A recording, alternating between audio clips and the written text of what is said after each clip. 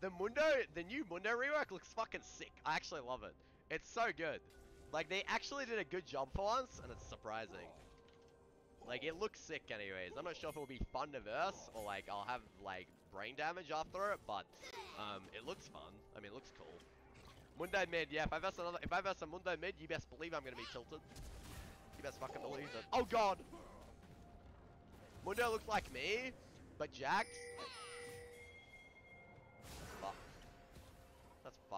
You know what? Fuck you.